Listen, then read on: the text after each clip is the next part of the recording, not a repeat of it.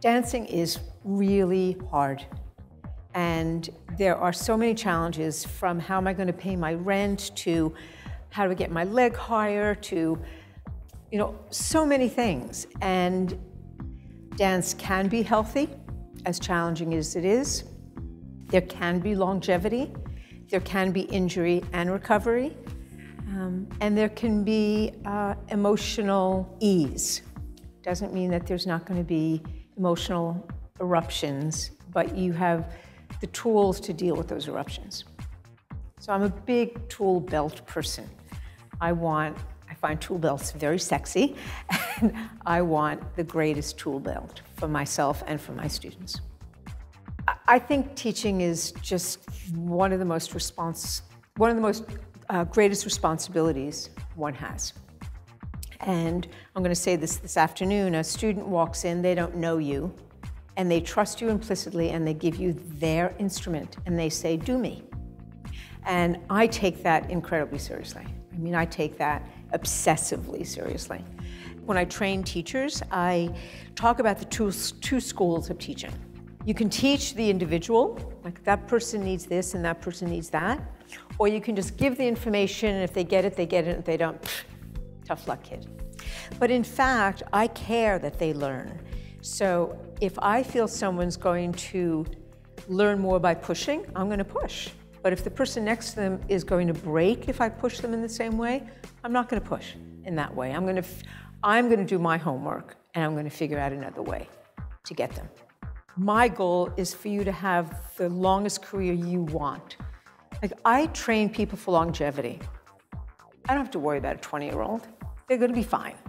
I want to worry about the 30 year old and the 40 year old and the 50 year old and the 60 year old. And if I train them well when they're 20, I don't have to worry about that. We have, as teachers, a responsibility to impart the, the uh, most fundamental information that makes them uh, be the best they possibly can be, physically, uh, psychologically, emotionally.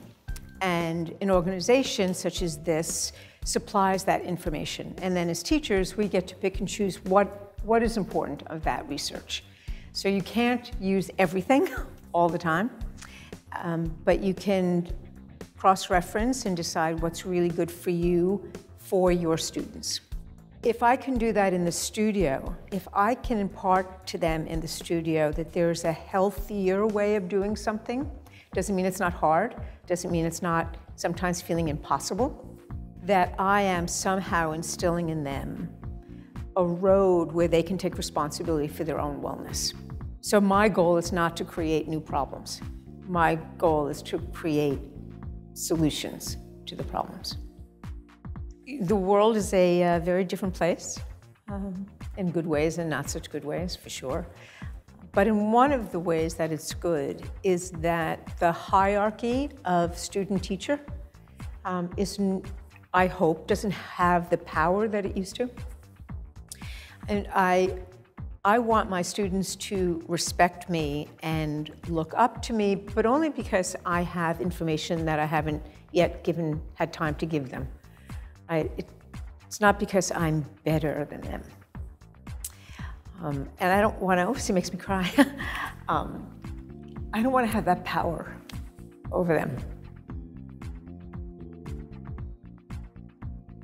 And at the same time, we're not equal, right? I'm a lot older than they are, and um, I'm, I have experience that they haven't, but that doesn't make me better than they are. And that therefore doesn't give me the right to abuse them